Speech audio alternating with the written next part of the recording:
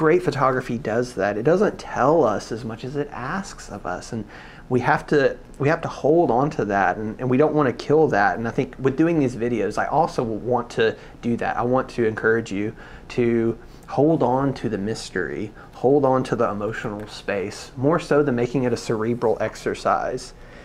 If a picture is just a cerebral exercise, you're missing the beautiful experience you can have with the world that the artist is transmitting to you. Don't let it become an intellectual exercise. Let it become an experiential exercise. That is more important. That's what photo books do so well.